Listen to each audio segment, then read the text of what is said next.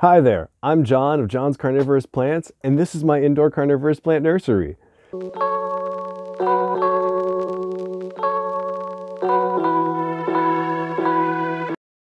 Today, I'm going to teach you how to grow Drosera natalensis, a carnivorous plant that is native to South Africa. This is a very easy and fast growing sundew species and is perfect for any beginner who's looking to get into some of these beautiful little rosetted species.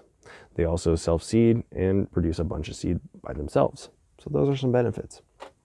Please check out the links in the description to all the timestamps of the relevant sections of this video for all the products I mentioned in this video, my social media, including Instagram, and my Discord, where I answer live uh, questions every Thursday, 9.30 p.m. Eastern Standard Time.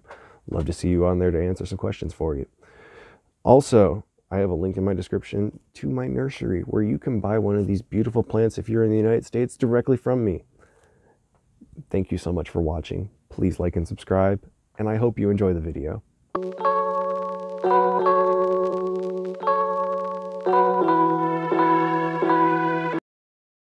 First and most important point to cultivating any carnivorous plant is climate. You need to provide a stable climate for long-term success. This includes temperature, humidity, and airflow. To maintain a stable climate of 40 to 80% humidity, 60 to 80 degrees Fahrenheit, and steady airflow, I suggest the following. Use a humidifier near your grow area to maintain humidity.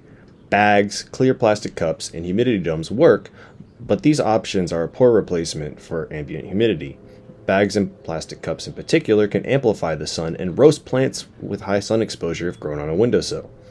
Use a space heater or air conditioner to keep your temperature between 65 to 80 degrees Fahrenheit. Going too far out of this temperature range can cause stress to the immune systems of the plants and lead to more fungal and pest infections. To measure your grow area's climate, I highly recommend purchasing a thermometer or humidity gauge like this one. There's a link in the description to buy one from Amazon. The next important point to cultivating carnivorous plants is lighting. The sun is the best light you can have for your plants. Since most homes do not have windowsills that provide enough light, indoor growers are left to using indoor LED grow lights. Here you can see that I use an array of different fixtures. No matter what kind of lights you use, make sure to drape the cords before going to your outlet to prevent water-related electrical fires. An appropriately rated timer for your lights is critical to the long-term health of your plants. As a quick overview, lighting sources should be 4 to 6 inches away from most species of carnivorous plants. I recommend Yescom 225 lights as they cost around $30 off Amazon and work great for smaller collections. You can use 4 foot LED shop lights from most big box stores as well. I have a link in the description to the red blue suncoat lights that I use for some of my racks. Make sure that you provide at least 12 hours of direct light to your plants a day. Going under this amount can stress certain tropical plants. Like climate shifts, this can lead to decreased immune function. Even plants like to sleep, and some like Byblis only digest prey at night. As a safety tip, make sure you drape your cords and have a low spot to prevent water-related electrical fires. If you're growing your plants outside or on a window, use the species-specific lighting preference later in this video as a guide to how much exposure the plant should receive. Next up, soil. Most carnivorous plants occur in nutrient-poor soils. I grow all of mine in either a mix of peat and perlite or straight long fiber sphagnum moss. Always make sure your medium is thoroughly wet and mixed, if the medium is dry, the plants will die.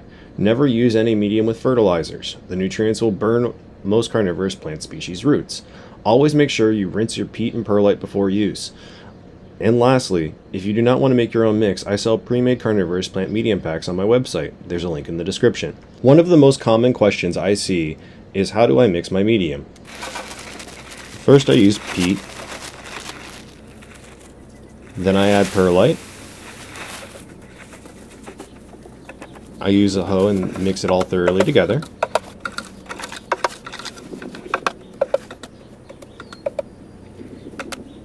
I then take my pots, fill it thoroughly to the top, and give it a slight pat down. Always make sure to thoroughly top water your pots. And as you can see here in this last scene, there's the difference between wet and dry peat.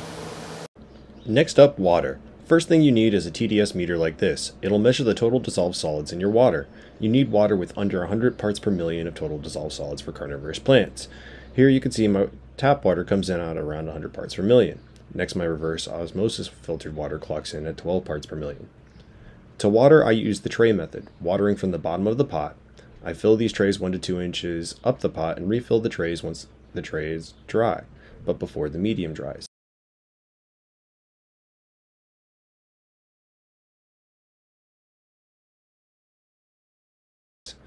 For a quick overview, make sure to have a TDS meter and only use water under 100 parts per million of total dissolved solids. Tap water is usually unusable, so make sure to test it before use. Distilled water from a grocery store, pharmacy, or other store will work. Nursery water will also work. Water from an air conditioner or dehumidifier can be used, but is not recommended for the long term.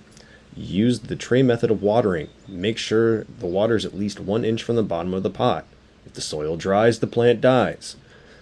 Top water all plants except Pinguicula and some small rosette Drosera every two months to prevent mineral buildup, promote oxygen exchange, and prevent most fungal growth.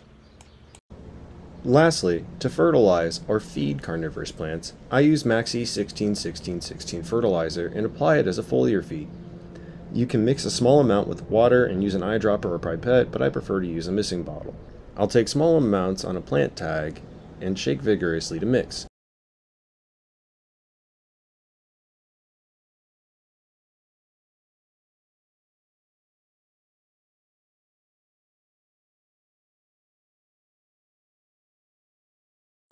To be accurate, the mixture clocks in around 100 parts per million.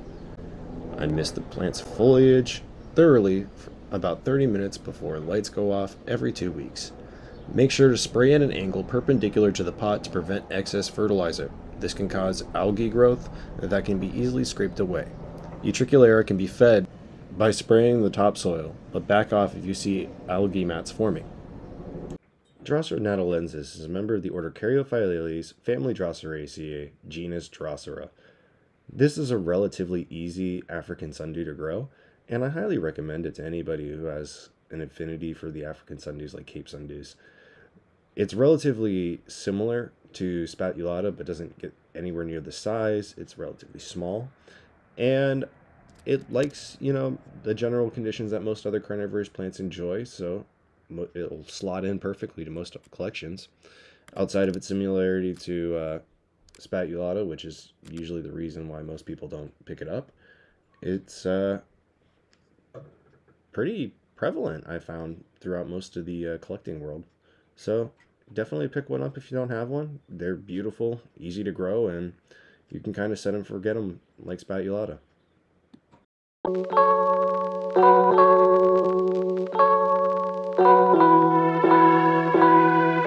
Almost all tropical Drosera species are cloned via leaf cuttings, which you just take a nice healthy leaf, and I like to put mine in these little 4 ounce cups you can get at most grocery stores or on Amazon in water for a few months.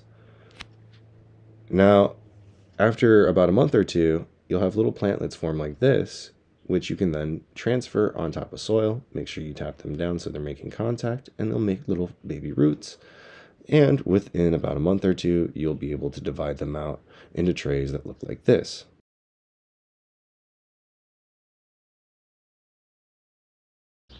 Thank you for watching this far. I have links in the description to other great reference videos done by other nursery owners for the International Carnivorous Plant Society. These include a pesticide discussion from Damon of California Carnivores and a lighting presentation from Drew of Carnivero. There's also a link to Barry Rice's Carnivorous Plant FAQ, which has been invaluable to my own learning.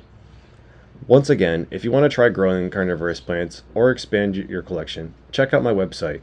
Please like this video and subscribe to my channel for more carnivorous plant content. I wish you happy growing and great success. Thanks again.